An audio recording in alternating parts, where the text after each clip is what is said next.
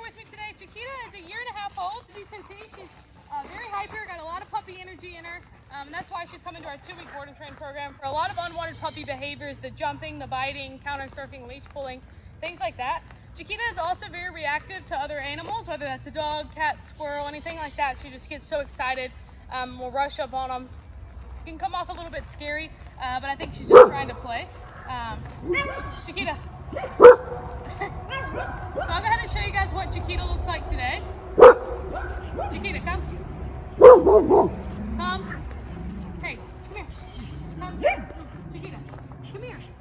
Good girl. Sit. Chickita, sit. Sit. Sit. Okay, lay down. Chickita, down.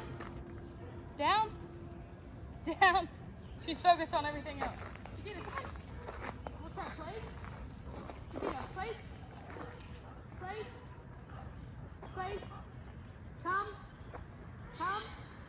Place. Close enough. And next we'll try heel. Chickita, heel. Chickita, heel.